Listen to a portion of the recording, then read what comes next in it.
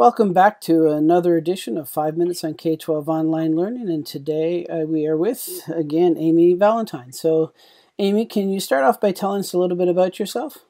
Absolutely. Thank you for having me, Michael. Amy Valentine here. I run a national nonprofit called Future of School. We're focused on broadcasting the impact that technology and innovative practices has on students and teachers. We've been in this business for the last four years, giving grants and scholarships away.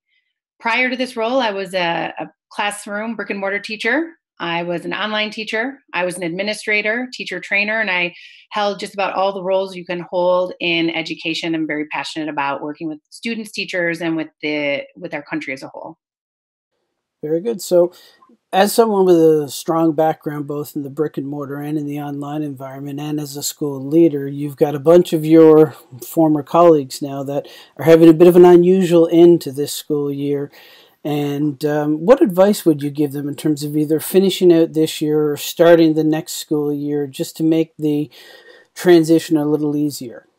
Yeah, absolutely. It's a great question. And I have this these kind of three words that come to me over and over as I've been listening to educators and leaders and talking to thought leaders and decision makers.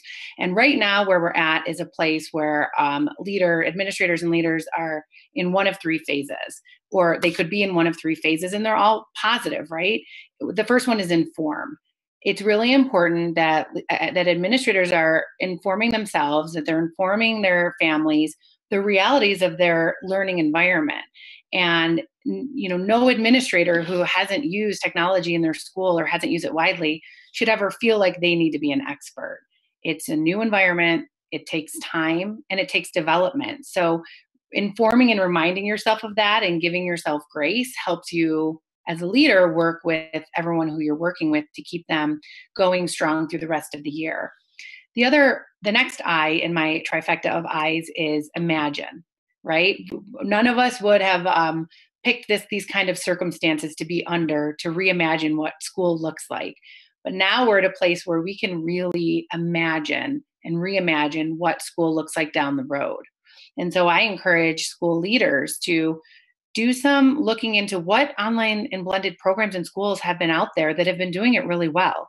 And then you can take glean different strategies and pieces from them like our state run providers There are state run schools across the country that have been providing blended online classes to students since the mid 1990s it's new to our country as a whole but it's been around right? So there's a lot of refined strategies that are out there. And then then administrators can are in this great position that they can customize what works for their district for their school. And then the third one i'll say is inspire I tend to be a positivist, Michael, as you know. And so I always go, the glass is, it's not half full, the glass is overflowing. We're in a place where we really, leaders really can inspire their families to be part of a process of reimagining what K 12 education looks like in their school. So it's almost like this, this, you know, it's, a, it's hard to think of it as a gift. It's like a gift wrapped in ugly wrapping paper that when you open it, it's a, it's a slate that administrators are empowered to redesign what that looks like and so I would encourage them to talk to their teachers, to survey parents. It's okay if you survey parents to get the good, the bad, and some of the ugly, right? Some people, it's the, the rate of adoption is just too fast. But you're going to get nuggets and pieces and trends from families that will help you as an administrator to redesign with elements that meet and exceed the needs of kids. Okay. So this time when we had to close down because of this pandemic, we did it sort of quickly without much notice and folks were caught off guard. What can school leaders do to help prepare their their teachers and their students for if a second wave happens or if we get some local flare-ups and and their district has to close down again? Yeah, that's a great question. And I know lots of people are talking about it, and there's lots of folks starting to work on those plans. And I see two main buckets there. I think that there's the, the infrastructure, the tangible process piece. What kind of plans can you put into place between now and the fall that ensures continuous learning for all of your students? And actually, that gives a little bit of a gives us a runway to make sure that all of the kids have the tech technology they need and that the teachers have the the expectations outlined for them for creating lesson plans and things like that. So there's you know it doesn't take much to create a plan for you, continuous learning remote learning whatever we want to call it knowing that this whole sector of online teaching and learning which is different has been happening for a long time and there's a lot of resources out there that administrators can go to to build what customized plan they have. So starting the year with a plan to be able to move school to home or to be able to social distance in schools have those parameters set in case you need them is critically important. The second bucket to me has to do with culture the culture that you're creating along the way. Um, it was peter drucker that said culture eats strategy for breakfast operational efficiency for lunch and everything else for dinner.